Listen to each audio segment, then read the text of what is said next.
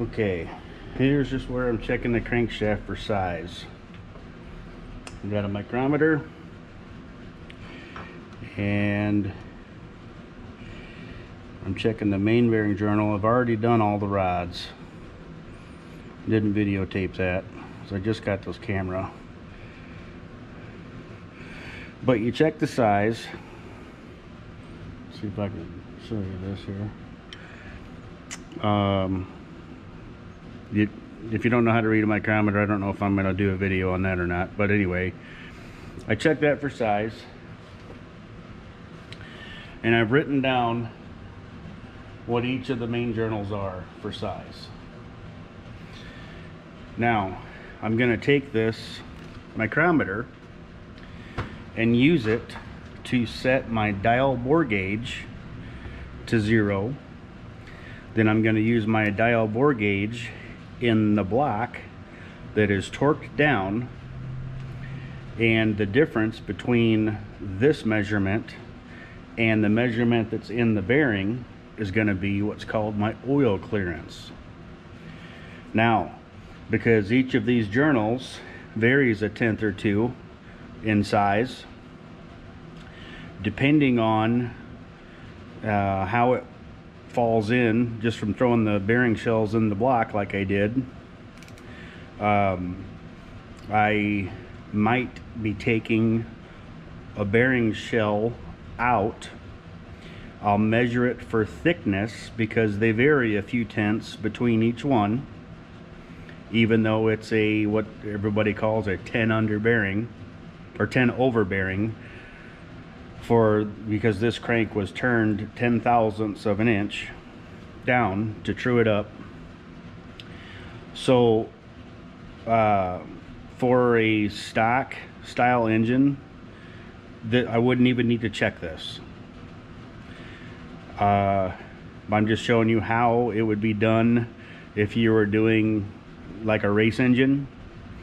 I just do all my engines this way because I'm real, I just, there's no reason why I, I can't do it perfect because I've got this equipment to do it. But uh, the average guy could trust his machine shop to turn the crank correctly and just throw in a set of bearings and you might have one that's a few tenths or a half a thou tighter than another one but it's gonna run just fine I mean really I just try to make mine where they're all the same. So let's just say that this number four ends up being a couple tenths tighter than number one. If I take those shells out and I notice that these shells are a couple tenths thicker which would in turn make this oil clearance tighter,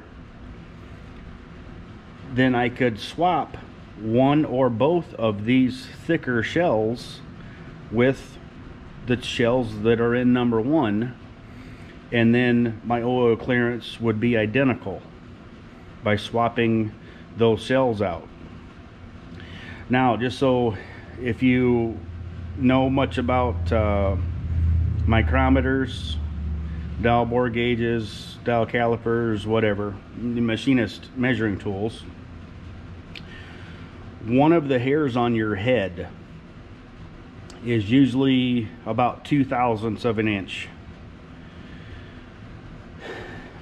The oil clearances on the rods, I always try to get, you know, two thousandths to two thou and four tenths the mains, I usually try to go at least two and a half to three, maybe a little bit more on this number five because this is where the oil pump is.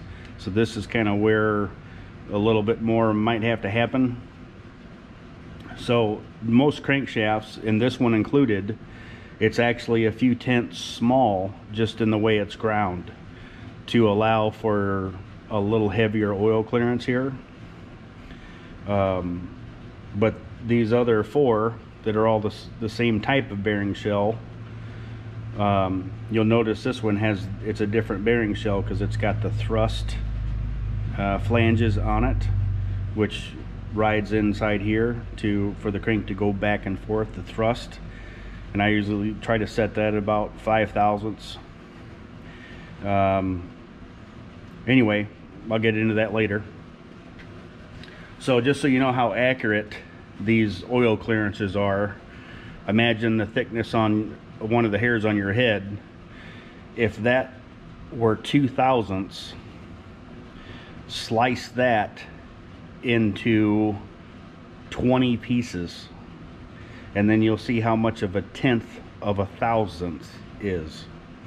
And I just try to make this that perfect.